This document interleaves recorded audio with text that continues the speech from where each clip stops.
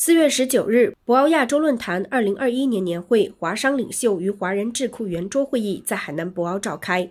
会议由国务院侨务办公室主办。今年圆桌会议主题为“坚定信心，共享机遇，共同发展”。共有来自十一个国家和地区的二十九位华商代表及智库专家出席会议，围绕全球治理中的中国智慧与华侨华人角色，推进“一带一路”高质量发展与促进民心相通。中华文化走出去与中西文明交流互鉴，合力共建海南自贸港等分议题进行研讨交流。国务院侨务办公室主任潘岳出席圆桌会议并讲话。他指出，当前全球侨胞，特别是广大华商，面临着新形势、新困难，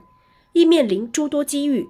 最大的机遇就是中国已开启“十四五”规划，已开启全面建设社会主义现代化国家的新篇章。潘岳表示。华商应当紧扣中国双循环新发展格局，创造机遇，共享收获；应当助推中西文明交流互鉴。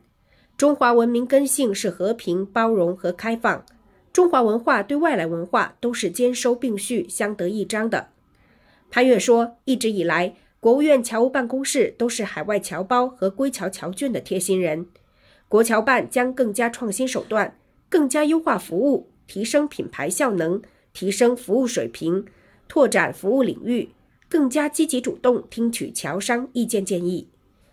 会议由中国人民大学国际事务研究所所长王毅伟主持，许荣茂、陈江河、蔡冠深、林玉堂等二十五位华商领袖以及王毅伟、翟坤等四位智库专家与会。